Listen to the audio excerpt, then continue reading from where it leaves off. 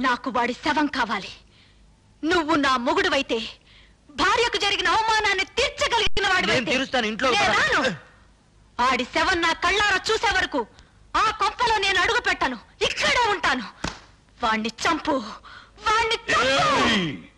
చంపుకుంటే ఎదురుగానే ఉన్నాను.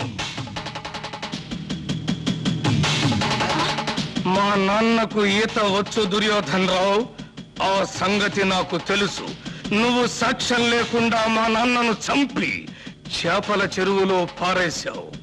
ఇది తెలిసి ఎందుకు ఊరుకున్నానో తెలుసా? నిన్ను సాక్ష్యం లేకుండా చంపటానికి. ఈ రోజు నుంచి నీకు నాకు బతుకు పందెం. నా చేతిలో నువ్వు చస్తావో నీ చేతిలో నేను చస్తాను. సాక్ష్యం లేకుండా చంపాలి.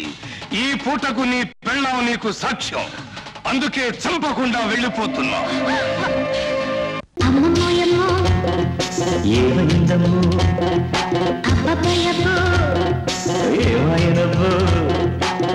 సంకురాతి రుచేసింది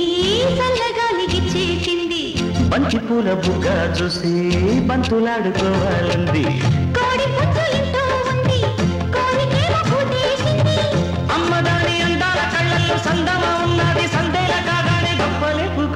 గొప్పలేపుకొని తది బుక్కిలి పుంజమ్మో దాని చెప్పలు చూ